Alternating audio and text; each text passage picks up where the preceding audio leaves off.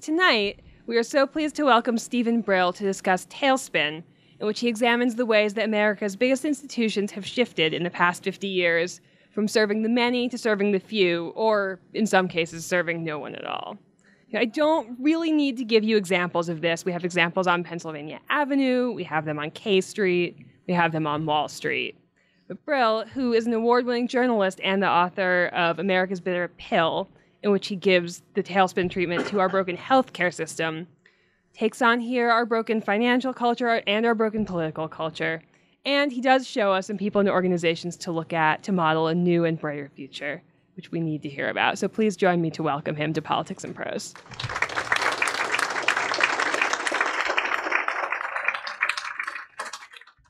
Thank you. Thank you for that introduction. Um, I'm going to talk to you a little bit about the book, but I'm really looking forward to taking all your questions as well. Um, this book, at its core, tries to answer a question that most of us, regardless of our political leanings, have been asking ourselves some version of for the last few years. How did we get here?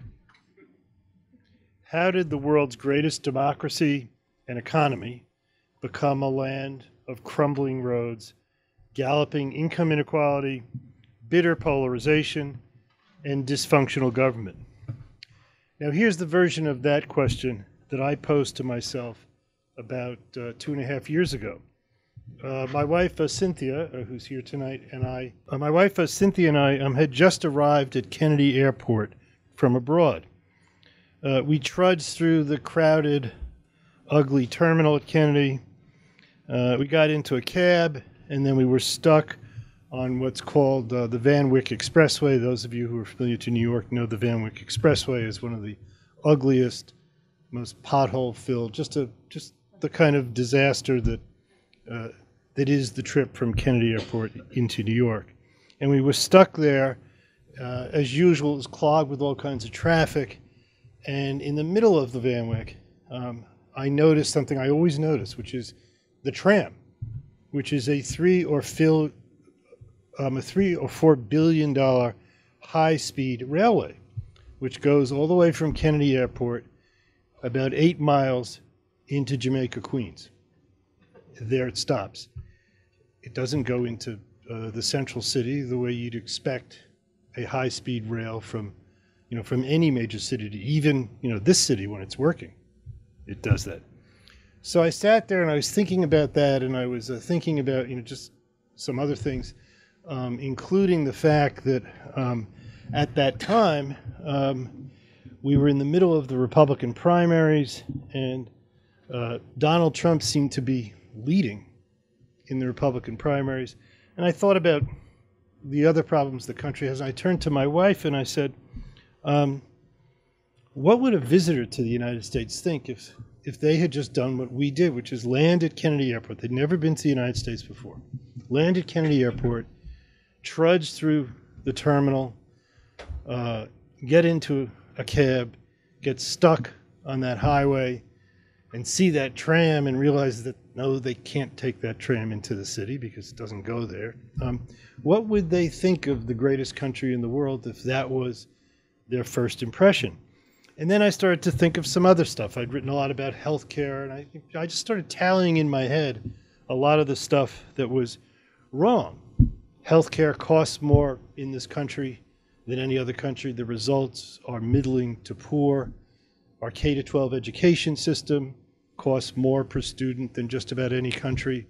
Our results are in the middle uh, to poor. Uh, we haven't passed a comprehensive budget in this country since 1994. And I just started thinking about all that, and I decided that I was going to try to get uh, the answer. Again, how did this happen to us?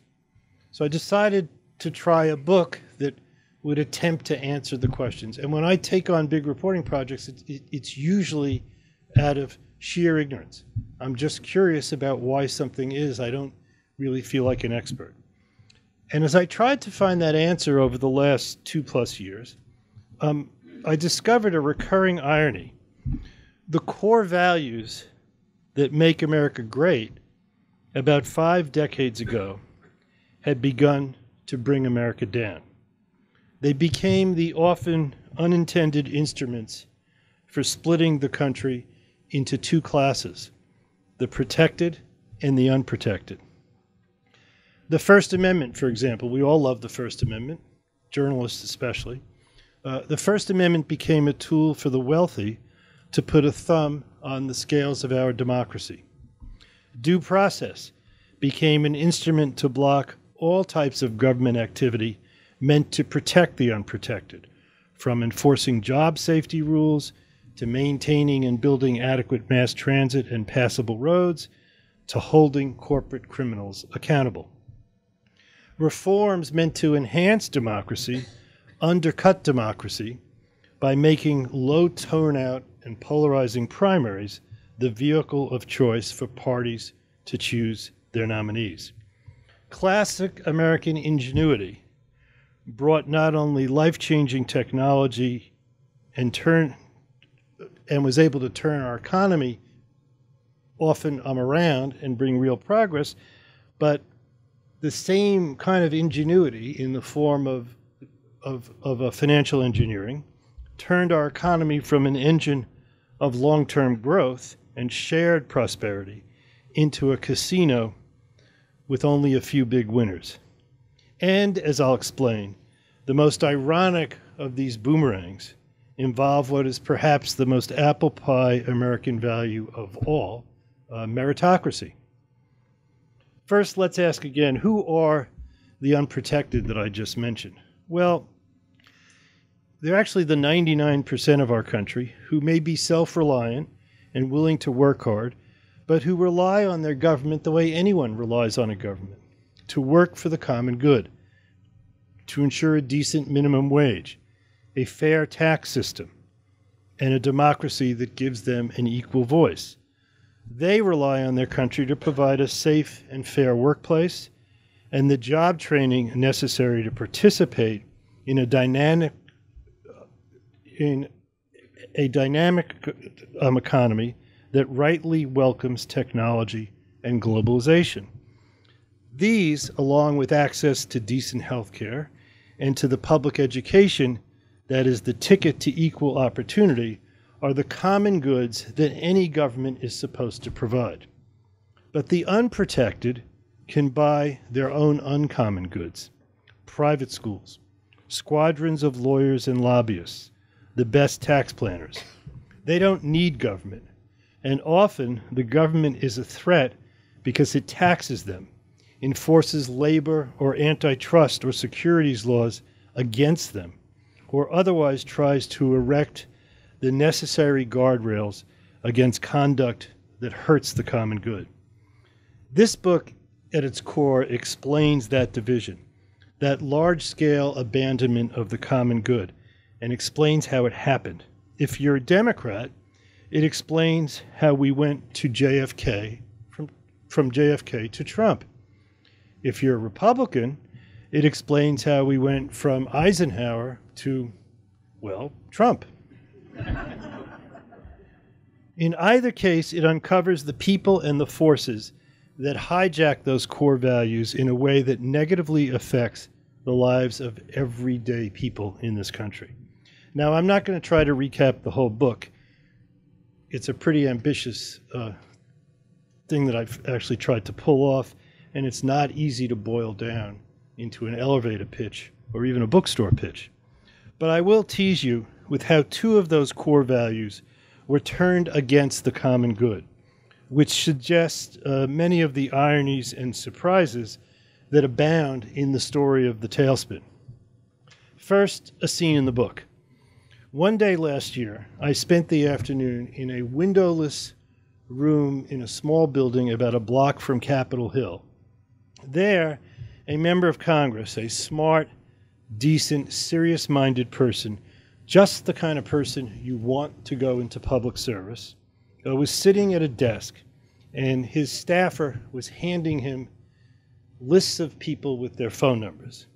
And he was sitting there making phone calls as fast as he could.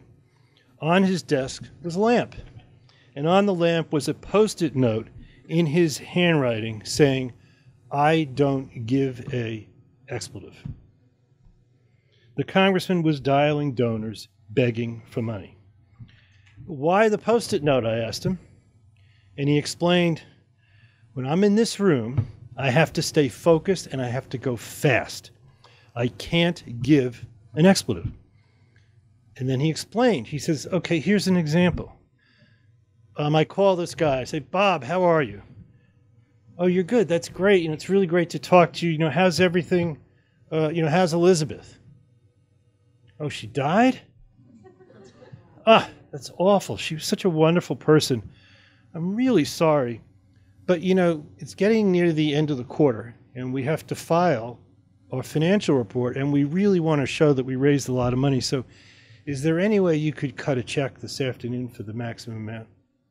Thanks. And gee, we're going to miss Elizabeth.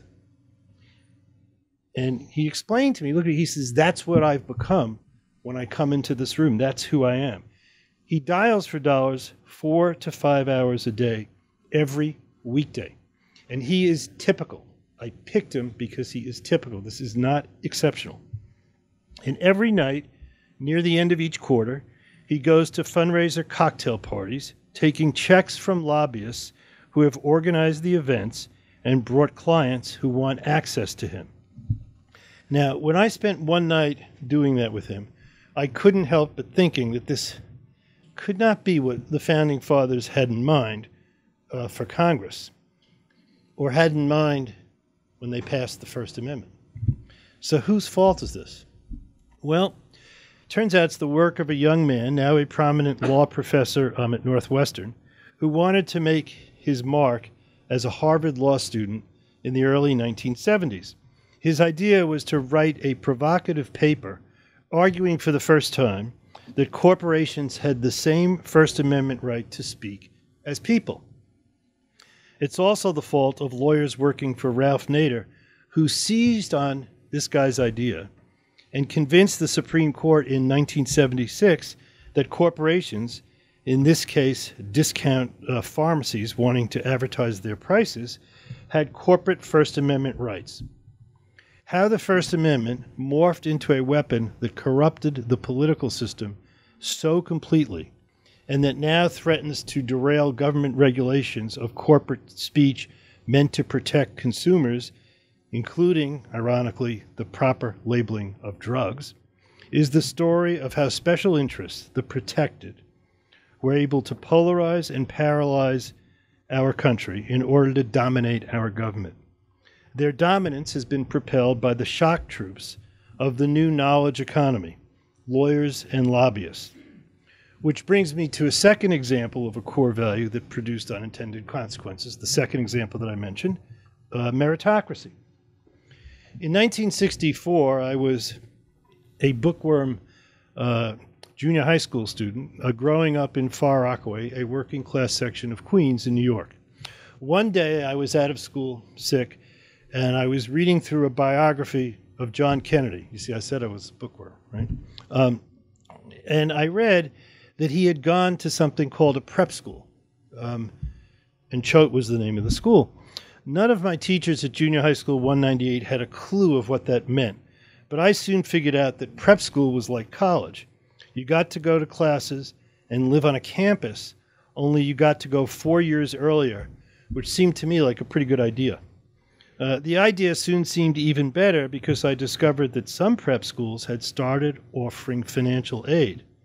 I ended up at Deerfield in western Massachusetts, where the headhunter told my worried parents, who ran a perpetually struggling liquor store, that his financial aid policy was that they should send him a check every year for whatever they thought they could afford.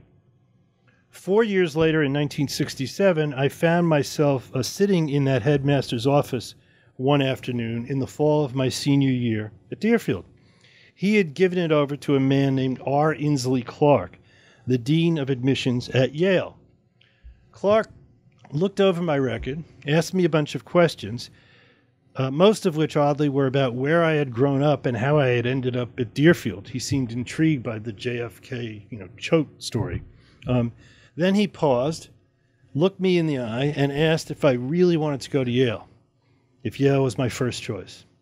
When I said yes, his reply was instant. then I can promise you that you are in. I will tell the headmaster that you don't have to apply anywhere else. Just kind of keep it to yourself. Oh, what I didn't know then was that I was part of a revolution being led by Clark, whose nickname was Inky. I was about to become one of what come to be uh, one of what would come to be known as Inky's boys and later girls. We were part of a meritocracy revolution that flourished at Yale and other elite education institutions, law firms, and investment banks in the mid 1960s and 1970s and beyond. It was a great thing for me and for so many other people, um, including uh, my wife, who became one of Inky's girls. But it turns out that it had a downside. At a Yale Law School graduation three years ago, a professor who had been chosen by the graduating class to be their speaker described the meritocracy revolution that Clark had ignited 48 years before.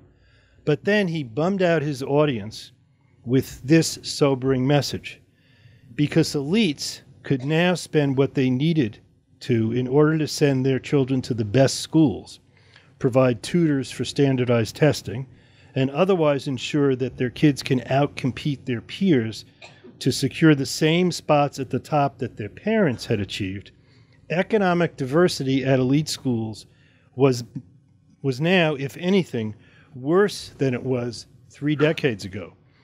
He used lots of numbers to back that up, as do I in my book. Although it was once the engine of American social mobility, he said, meritocracy today has become precisely what it was invented to combat a mechanism for the dynastic transmission of wealth and privilege across generations. Meritocracy, he, uh, he told the students, now constitutes a modern day aristocracy built for a world in which the greatest source of wealth is not land or factories, but human capital, the labor of skilled workers. These skilled workers, those who won the meritocracy race, became the knowledge worker generation.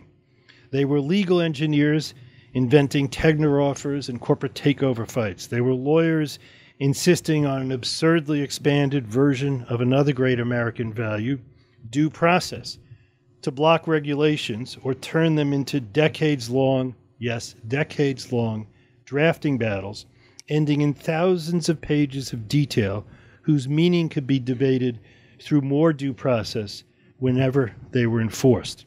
They blocked labor law enforcement and created arbitration clauses to keep everyday Americans out of court when they had consumer or employment discrimination claims. Now, in the book, I confess to having had a role in boosting the lawyer meritocracy uh, by taking a lead in celebrating their success and their riches. In 1979, I started a magazine called The American Lawyer, which focused on the business of law firms. I thought of these firms as a really good ongoing business story. They were big, powerful businesses with intriguing questions lurking behind their uniformly elegant uh, reception areas. Which ones were the best managed? Which offered the most opportunity to minorities or women? Which were more likely to promote associates to partnership because they were economically healthy?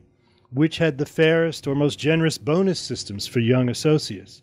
And yes, which had the most interesting clients and a client base that provided the highest profits per partner? That last question resulted in the American Lawyer launching a special issue every summer beginning in 1985, in which we deployed reporters to pierce the secrecy of these private partnerships so that the magazine could rank the average profit taken home by partners at the largest firms. When the first survey was published, I received a call from a former Yale Law classmate of mine who practiced at a large Los Angeles firm. He was outraged because he and his wife had now found out that another classmate of ours who, pro, uh, who practiced at another seemingly fungible Los Angeles firm made about 25% more than he did. Until then, he had been perfectly happy with his six figure income. Not anymore. Sure, this new flow of market information about these businesses made those who ran them more accountable to their partners, their employees, and their clients, and much more eager to find places for people who had the most talent, regardless of their race, religion, or gender. But it also transformed the practice of law by the country's most talented lawyers in ways that had significant drawbacks. The emphasis was now fully on serving those clients who could pay the most, with pro bono work, uh, professionalism, and collegiality often taking a back seat. And with the emphasis on talent, and this is really important, with the emphasis on talent, on recruiting those who had won the meritocracy race, rather than members of the old boys network, the big firms were now much fairer, but also much better able to serve and defend those clients. Others, including lots of lawyers, became uh, the financial engineers of the era at investment banks, spinning out trailblazing inventions meant to boost short term gains in stocks like stock buybacks, uh, derivatives, CDSs, mortgage backed securities, while, follow- while hollowing out the long term economy on which the middle class depends. Breakthroughs in technology, another core American value, enabled automation and globalization, which added to the disruption of the economic security of the middle class. And it didn't have to be that way. In 1971, a young Nixon aide in the Nixon White House uh, named Peter Peterson, the Peter Peterson who went on to, uh, to found Blackstone, um, warned the Nixon cabinet and the president in a long memo that drastic improvements in job training and retraining programs were needed to enable that middle class to survive in what was to be this new automated globalized economy. He told me in an interview that we had uh, shortly before he passed away that he was ignored. Everybody said, you know, thanks for the memo, but nothing happened. The 50 year failure of the Trade Adjustment Assistance Job Retraining Program, about which uh, Peterson uh, was writing, that was pushed originally by President Kennedy in 1962, was also ignored.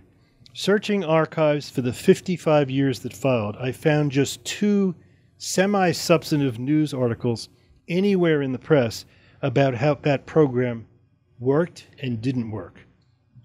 So, should the frustration of much of the country over how the winners in the meritocracy have played such a massive role in keeping government from delivering common goods really be a surprise?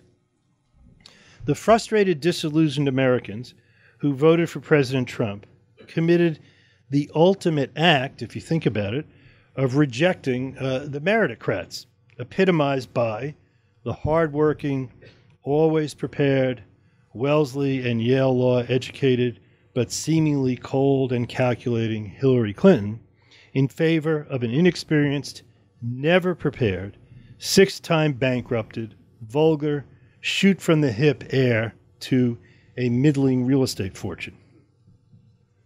And as I said, lots of other people and forces are part of this same unhappy slow motion 50 year story, but I think that rejection of the meritocracy is, is in many ways um, the key to the whole book. Um, so that to me is um, what we need to focus on is how uh, the frustration really welled up with people who were rejecting everything that a lot of us in this room, for all for good for good reasons and for good motives, worked very hard to achieve. Now, so that's the story of the tailspin. But having said all that, I also have to say that I saw something else too. In fact, this is a shockingly hopeful book. In every area that America has fallen, I saw people who were working and working effectively to reverse the fall. I saw a young Iraqi war vet and Harvard grad who had created a program at a converted zipper factory in Queens that trains waitresses, bar bouncers, and sales clerks to become software coders.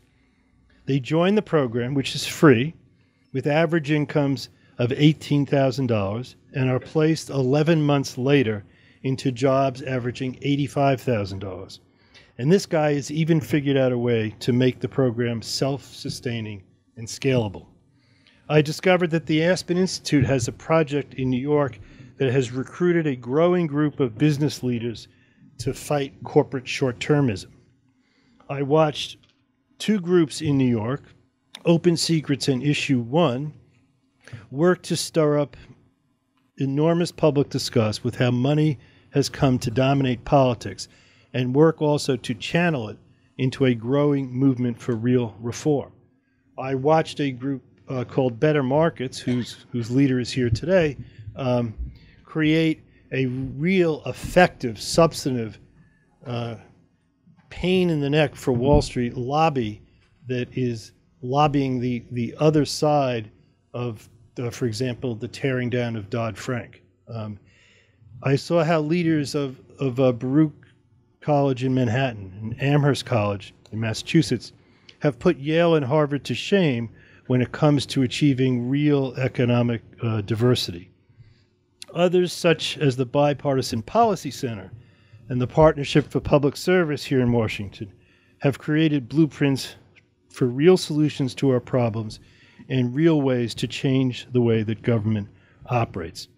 I discovered that Peter Edelman, who is America's leading anti poverty policy thinker, again here in Washington, has put together a detailed blueprint for uniting the cause of the poor with that of the working class by creating an entirely new employment infrastructure for this country. His idea create millions of good paying jobs while serving a looming demographic crisis by hiring and training well paid elder caregivers and preschooled child care educators. Now, I know what your reaction is because it was mine too. Uh, you know, these people are just whistling in the wind. Why are they doing this? Everything is galloping in the opposite direction. Um, and I thought that until I looked at their resumes, and more important, until I poured through their work. Um, and I also asked them, every one of these people I approached, um, at some point I would say to them, because they're, they're intensely smart, uh, intensely ambitious, high achieving people. And I'd say, why are you doing this? You're just banging your head against the wall. Campaign finance reform, but you know, trying to track the donations given to some congressman who might be sitting on a committee. When I mean, the, you know, we have a much lower bar than that now. Um, why are you worried about that? And they all surprised me with their intensity and uh, their resilience. Um, and that stems from um, from really sort of reading into their work and just digging into it and seeing that these people are doing the real thing, um, not because they're gluttons for for frustration, but because they believe that America can be put back on the right course. And I think they're right. I think when Americans realize that someone who used their frustration to scam them is not the answer, they will turn to leaders who are prepared intelligent, sincere, and able to unite them rather than play them. I believe that these new achievers who are fighting the tailspin on all fronts are laying the groundwork for disgust to be channeled into a restoration. In 2018, these people that I met and that I'm happy to profile in the book um, give new meaning to the word uh, uh, resilience and they make me believe in our country's uh, strength and in its resilience. There's nothing wrong with the core values that brought the tailspin. They just need to be redirected back to the common good. And that, at the end of the day and at the end of the last page, is the message that I hope the book conveys. Thank you.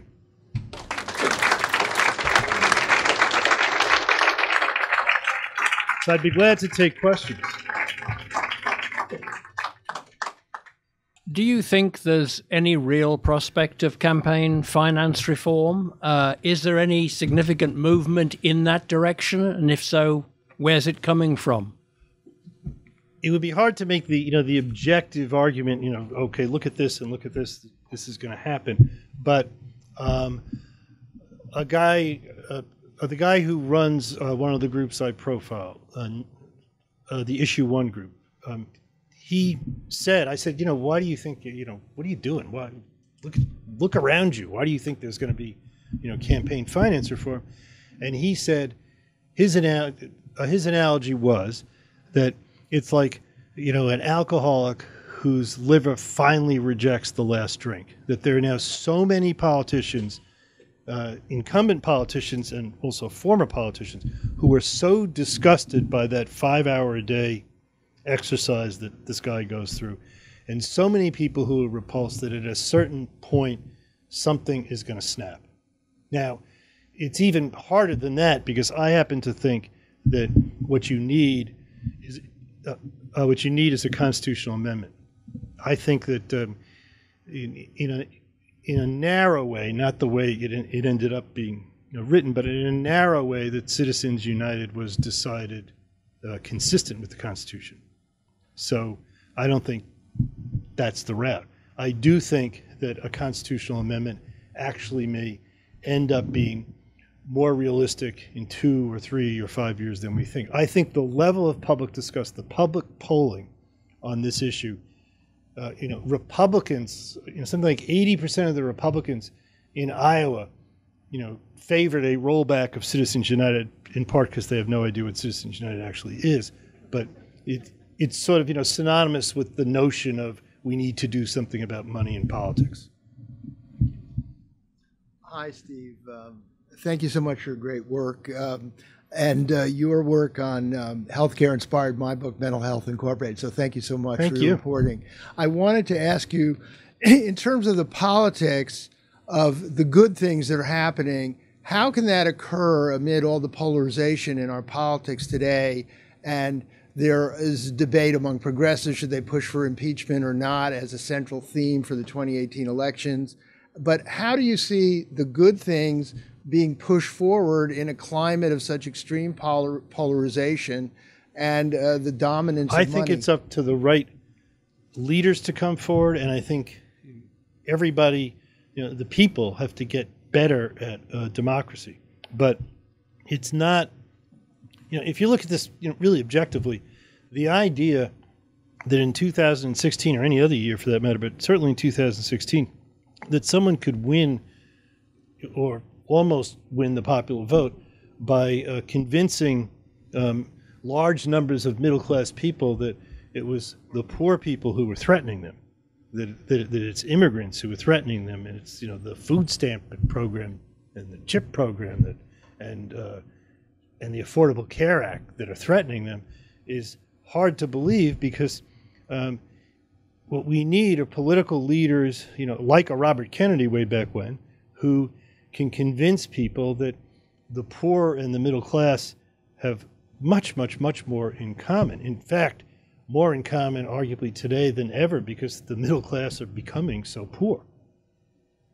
You know, you know, programs like food stamps, uh, that's a middle class program you know the the, the Consumer Financial Protection Bureau was uh, was you know written to protect the middle class. You know, payday lenders fleece the middle class, people who have jobs and you know are waiting for their paydays.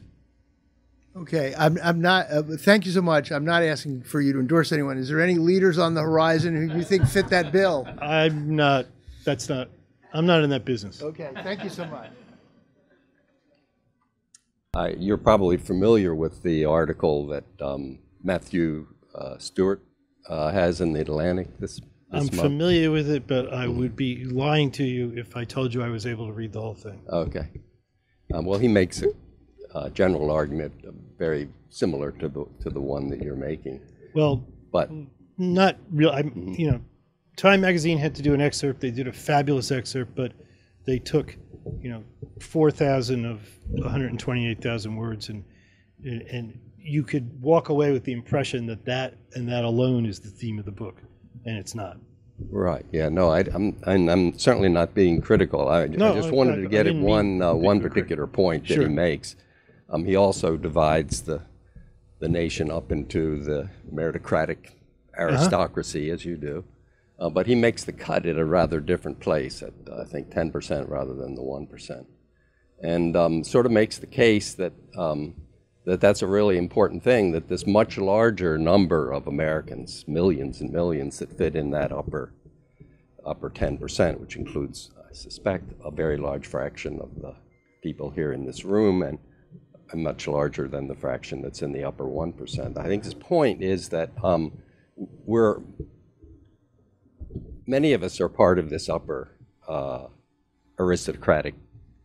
Well, I think that's right. I, I, and I uh, that that it. we all have responsibilities. It isn't just the uh, the fat cat, so to speak, and that it may be more passive in some ways.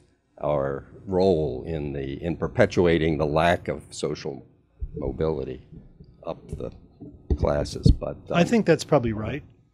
I think I agree with that. I think, you know, if, if you, you know, if you're a two hundred thousand dollar a year associate at a law firm, um, you're certainly in the top ten percent. You're probably even a little, you know, well beyond that. And if you're the woman or the guy right, uh, uh, you know, writing the argument that says, you know, you work for the Munger Tolles law firm and you wrote uh, the argument that says that uh, the customers of Wells Fargo who had their uh, their credit ratings Right. get ruined and were cheated because the bank opened extra accounts for them, but that that should go to mandatory arbitration because when they signed up for their original account, it said you hereby agree to arbitration for anything ever to have to do with your relationship with Wells Fargo. If you're that that associate doing that, uh, you're not in the top one percent. But you you know, as far as I'm concerned, you probably ought to be thinking about you know doing some other stuff in your life. uh, thank you. Hello. Um,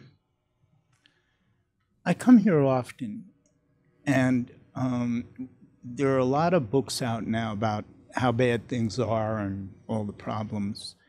And I'm glad to see you suggest, you know, some things that are positive, because that is very important. But I don't know if we're really grasping how serious and how deep and fundamental this problem is right now.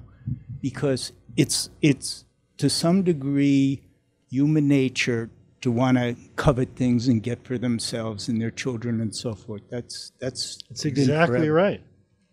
but i'm not sure we're grasping the institutional problems that are structurally interfering with any possibility of really getting a true reform. I mean, even the Constitution itself. With all, with all due respect, I pray that you read the book because I think you'll see that's that's exactly where I try to go, and and I think it's why the book is catching on. It goes past the, you know, that you know the stupid day to day headlines of what's happening in the administration, and, and goes to those core issues. I mean, the issue you raised um, a minute ago, it, it is obviously the new meritocracy. It, it, it is totally you know, difficult and, and in my case hypocritical to say that there's something wrong with parents who do well and then want to do whatever they possibly can to make sure their kids do well. That's a that's an unnatural act to to do the opposite. So that's a pretty hardcore problem. it is. And institutionally, too. Yeah, institute in terms of higher education institutions, but that's why I tell the story of what Amherst and Vassar and now even Princeton, I'm surprised to say, um, are doing to really address that. It's pretty interesting. Thank you. So I was heartened to hear that you have hope um, and that you've focused on some individuals who are doing extraordinary things. But I wondered if you could also, if you find hope in what is happening in terms of collective action, the teacher strikes, the women's march, the gun march, the way that Absolutely. people are in action at the grassroots That's level. what I mean by the notion that things are going to get so bad that they get good. Um, and and the reason I focus on leaders like, uh, you know, my friend over here who runs uh, the Better Markets Group, is that when as more people start to focus on that stuff, they'll have organizations to go to and leaders who can help lead, and they'll have real, hardcore, good information that they can use. And that's in most of the spheres that I talk about. The, there are these these people who are just, you know, they're too dumb to realize that uh, that their work, you know, is impossible because it's not impossible.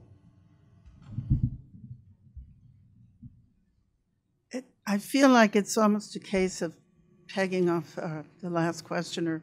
The fault, dear Brutus, lies not in the stars, but in ourselves. How do we get a better informed electorate so they understand what the leaders are actually trying to tell them? So they'll know how to judge the qualifications of leaders and they'll understand what it takes to run a government that can really help them be the best people they can be, let alone just getting to the polls to vote. Well, that you know, the last part's a pretty big part. Um, you know that that is always the challenge of a democracy, right? You you know it's the it's the least bad way to do government, um, but it can get pretty bad if if the people aren't informed and if they don't care. We have a bunch of new problems in that regard um, with technology and fake news. I've just started a business that is that is trying to deal with the fake news problem, um, but it's that, but it's deeper than that. But I'm not that you know upset about that or or depressed. I mean, if seventy thousand votes scattered in three states had gone the other way, uh, we'd be here talking about my book. I don't think my book would be terribly different, but we'd be uh, we'd be talking about what do we do about the fact that our government is so paralyzed and you know uh, uh the incumbent uh, Democratic president can't get anything done. But it's still only half the voting population. Why don't people in this country, which invented voting for representative government, show up? Listen, I always favored a law, and I don't even think it needs to be a constitutional amendment. In fact, I'm pretty sure it doesn't because elections are voted by state or are, are controlled by the states. I always like the idea of a, you know, of a state saying, um, uh, if you don't vote, uh, we're going to tax you uh, X percent of your income. And the Republicans couldn't be against that because it would provide much more incentive for rich people to vote than poor people to vote.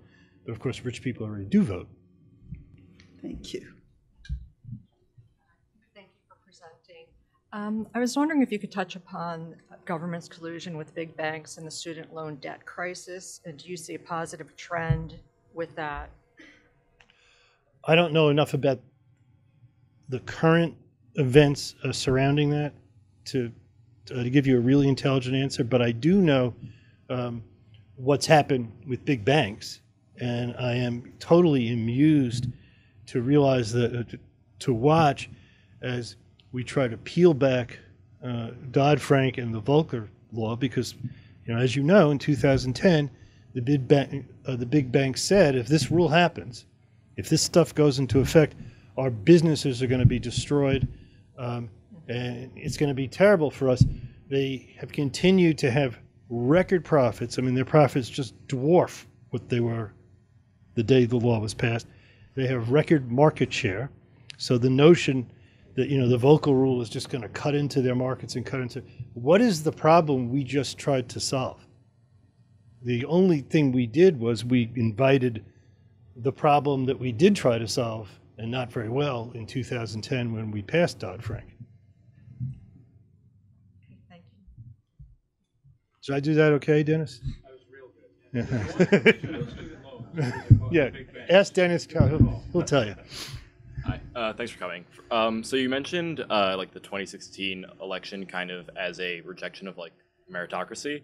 Would you say that rejection is more drawn from like cultural anxiety or straight up like economic Well, first of all, it's a 46% rejection. Let's keep it in perspective.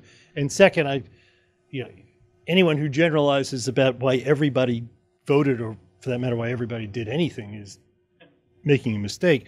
But I do think that the two, the two characters, the two opponents, you know, epitomized the opposite poles.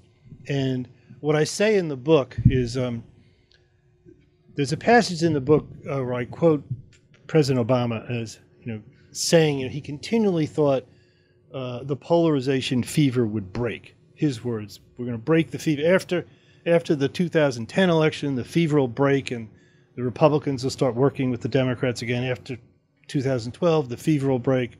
After 2014." Um, well, in 2016, the, the fever did break. People were so so frustrated that they basically said, you know, we just hate all these people. Let's just take this guy who's not a who's not among any of them. And I think to to steal Obama's metaphor, that uh, Trump and what's going on now is going to break the fever in the right direction if the right leaders come forward. People who, you know, can connect with people, who have real policies, and who aren't afraid to try to unite uh, the middle class with the poor. you know, it's gotten so bad. Excuse me. You know, it's actually gotten so bad that even the the most liberal politicians, almost all of even the most liberal politicians, never talk about poor people anymore because they're afraid that the middle class will be so angry at them if they do. Um, I've, I've been interested in your talk. I think it's really good, and, I, and you've talked about, you know, equal opportunity and the meritocracy, but it seems to me that all that leaves way too many people behind, and most people aren't going to Yale and Harvard and Stanford, where I went and you went. And uh, uh, what do they do? What what have you seen some hope for them? Because those are the people that Trump's talking about. And they're not going to go to Harvard, and they're not going to go to all these places, and they're not going to work for fancy law firms. They hardly they don't read books, uh, and that's a huge, huge number of people in this country. Well, two what thoughts about happens? What happens to them? Well, I two mean, thoughts about that. I spend more time in the book uh, talking about uh, Baruch College in Manhattan, which is certainly not an elite institution, but it continues a tradition of state and local funded, uh, you know, schools, including uh, community colleges and universities, that have always provided an engine to get people into the middle class, and of course. The cutbacks at state universities and community college are you know I spend a lot of time talking about that. That's outrageous. So yeah we uh, you know the country doesn't work if you know if the exceptional people are you know treated like they're exceptional and it doesn't work if we sort of mix up the demographics of the very people at the top. But, but it is emblematic that we that we've kind of screwed up the demographics of people at the top. The other thing i would say is that um, the reporting I did that, that kind of infuriated me the most and, and surprised me the most was the difference in this country uh, versus every other country when it comes to job training and retraining people. Um, for most other countries, that is seen to like the same obligation as K to 12 education.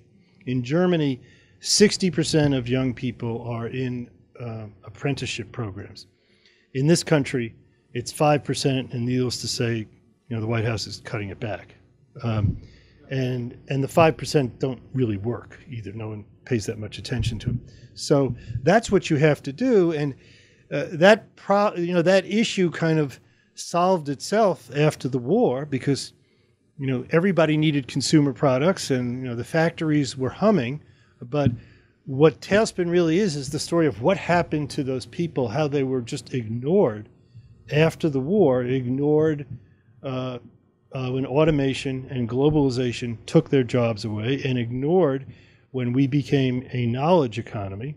And there's no reason they can't be part of the knowledge economy, as witnessed by the fact that uh, you know software coders are part of the knowledge economy, and uh, this guy in Queens is proving that you can take people without a high school education who have aptitude and are smart, they've just never had a chance, and you can get them into, in his case, $85,000 a year jobs quickly. It can be done. Thank you. I wonder if I'd like to uh, ask if there, if you in the book or right now you'd care to talk about uh, some of the changes in the rhetoric and the media that have happened since in this period that you're talking about, because there was a time in this country when the working class and the poor people voted Democratic, from certainly from the New Deal through the Great Society, and that's changed. They thought the government was on their side, and so either through spin or careful rhetoric or something. Uh, a little bit fake news lately, that's changed. The government is the enemy, and I, in in their minds. And I wonder if you would talk a little Well, bit let- about that. Okay, let me give you an example. But I mean, I, I think you're right about rhetoric and spin and all that stuff. But uh, let's be a little more tangible. Um, Henry County, Virginia. Um, there were furniture factories there. Um, the trade adjustment assistance program was supposed to work there. A fabulous journalist uh, named Beth Macy wrote a book about the struggles of a furniture factory there and that community um, after China was admitted to the WTO. Okay? In 1960, Kennedy won Henry County, Virginia. I think I'm getting this right because I looked at it this morning, but I may screw it up by a few uh, points. I think 63 to 37. In 2016, Trump won Henry County, Virginia by 63 to 37. Those people were left behind. The Democratic Party has done nothing for them. They had a program that didn't work. It didn't work under Republicans, didn't work under Democrats. Um, the Trade Adjustment Assistance Program, which was passed in 1962, it took three years before any company was allowed to have its workers, its displaced workers, even participate in the benefits. Because you had to prove that you were 100% displaced by globalization. So if there was some competition, and you know, the bureaucrats just kept everybody out. The program, it really gets me angry because all of us in the press, until Beth Macy came along, like you know, two years ago or three years ago, ignored this thing. It really ignored it, and, and, and the, the core of the country was hollowed out by stuff like that. So, yeah, it's rhetoric, it's you know, it's Trump, but it's more a question of politicians using the fact that people have been ignored and been bereft of their opportunity are much more susceptible to rhetoric that says, well, you know, if we build a wall, you won't have all these immigrants taking your jobs away. Uh, you know, people step in and take advantage of that kind of discontent. In your interviews, Sorry. We have time for these last two questions. Okay. I'm it. huh? In, in your interviews with uh, various people, what was their opinion about the potential role of young people, since we're seeing them several examples of their leadership focusing on the common interest? Well, most of my interviews happened um, before, you know, well before, uh, you know, Parkland. Parkland happened when the book was going to press. Um, but I would say, as a general matter, what I, what I would find, um, for example, in talking to kids, I, I remember I, I talked to a half a dozen or, um, a dozen kids who were graduating from uh, Baruch College, all of whom came from really poor families, and they were getting internships at accounting firms and investment banks, and that was good. But they, they really didn't think the government was going to help them with anything. Um, but I really didn't probe that deeply in terms of uh, you know generations. I will tell you that um, you know when you write a book, you really become you know kind of you know shameless about certain things, including looking on Amazon all the time. Um, and so I read, I think the first, maybe the first and only review so far on Amazon, or maybe there were four, but, but the first review, you know, was very complimentary to the book, and then said the last sentence was something like, Brill demonstrates how the millennials have been left the scraps of a dying country, or something like that. It's just really brutal. But he gave it four or five stars, whatever the rating. So he's obviously brilliant, but. Um, so I really don't have a great answer to your question, but I think there's a lot of cynicism that you know it certainly isn't you know me sitting there and reading a bio of JFK and saying, "My God, you know, you know, we got to get back the new frontier." Thank you. Thank you very much. Thank you. I guess I am last. Thank you for a terrific presentation, but I want to push back a little bit. if I Uh-oh. can, with three quick points. You're I knew we should have cut off the question. yeah, well, um, I'm going to avoid uh, uh, defending my law school uh, uh, uh, uh, uh, professor at Northwestern and go on to uh, other points. He's Um, a terrific guy, by the way. Re- I really like him. You want to share a name? Uh, Marty Redish. He is a great, he's a He's, brilliant he's fellow. a great human being. He is. Just Uh, totally wrong about okay, let's get into let's get into totally wrong. Um, uh, you mentioned the Trade Adjustment Assistance Act, Uh-huh. um, and I think people here would get the impression that that was the only manpower or retraining program around. It's not. It was a very small piece of Jack Kennedy's much broader program, which included the Manpower, Manpower Development and Training Act, the Area Readjustment Act, and and the pro, and the Tr- Trade Adjustment Assistance Act uh, had a very difficult job, which was to determine whether or not someone actually lost their job because of of a tr- of the Kennedy round, basically. Right. But they could get job training in West Virginia or elsewhere under the others. You talk about 50 Is years. Is this where I get to ask what's the question? Uh, well, it's, it's, a, it's a comment. Okay. Which is that I think that um, uh, that there's a, been a, a lot of uh, government money for for job training over many years. The second point. Oh, no, let me totally. There's been a lot of government money for job training, all poured down the drain. None of it worked. The GAO, or what was uh, uh, the Government Accounting Office that became the Government Accountability Yeah. Office, they actually for a while stopped doing reports about how terrible the programs were because they just kept writing the same report through Democratic administrations and Republican. And, and I read every one of them. Uh, well, we can have a difference of view The as to whether they Manpower, worked you or know, the not. Manpower Act, all of those programs. I just decided to mention. Well, they all add. Okay, um, we'll disagree. On Which that. ones did you work in? I helped write the Comprehensive Employment and Training Act, which was, Ah, con- which bingo. was conceptualized by George Shultz and Pat Moynihan and did work a whole lot and provided public jobs for lots of people. But the uh, uh, you talk about the electorate.